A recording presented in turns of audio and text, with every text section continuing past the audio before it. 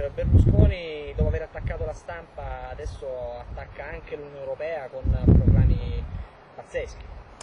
Ma ultimamente siamo al delirio del Presidente del Consiglio, non sa più con chi prendersela, dopo, aver, dopo essersela presa con i giudici, con i magistrati, con la libera stampa, adesso il fallimento del governo viene oscurato attraverso attacchi all'Unione Europea. C'è stata un'escalation, è cominciato con l'immigrazione, c'è il fallimento totale della legge Bossi-Fini, le immigrazioni sono aumentate, stato, sono stati calpestati i diritti umani con le ultime tragedie che sono avvenute nei mari antistanti le coste italiane. Eh, per non evidenziare il fallimento di questo governo il Presidente del Consiglio se l'è presa con l'Unione Europea. La stessa cosa ha fatto con le carceri di fronte al dramma della sicurezza nel nostro Paese, la privatizzazione della sicurezza attraverso le ronde e attacchi ai magistrati, ha pensato bene di scaricare anche le responsabilità della giustizia e del sovraffollamento delle carceri sull'Unione Europea e da ultimo l'attacco forsennato all'Unione Europea in generale,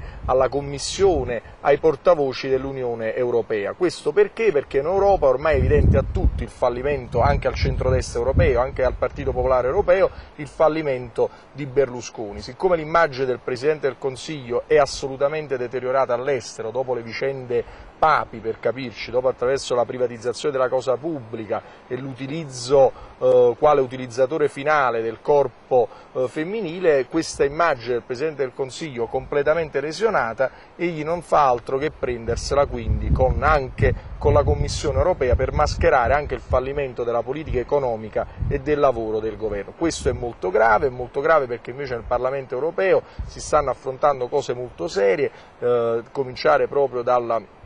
dai gravi eh, temi dei cambiamenti climatici e dell'immigrazione. Berlusconi farebbe bene a dimettersi qual è la portata, la gravità della minaccia che ha fatto Berlusconi? Io paralizzo i lavori della Commissione europea, cioè magari i media italiani non riescono a rappresentarla adeguatamente, però in Europa c'è scandalo per questo. Sì, ma questo appunto è un passaggio di una, di una gravità inaudita, non si è mai visto che un paese democratico eh, minacci di paralizzare un'istituzione semplicemente perché magari questa istituzione dice delle cose sgradite al Presidente del Consiglio che sta, eh, si sta comportando come un piccolo peronista in Italia, come un dittatore che vuole eh, consolidare il disegno piduista, annientando l'indipendenza della magistratura, massacrando la libertà dell'informazione, eh, facendo un assetto verticistico del potere, riducendo il Parlamento a mero organo di ratifica dei voleri del Premier, privatizzando la sicurezza attraverso le ronde riempendo il Paese di militari per governare il conflitto sociale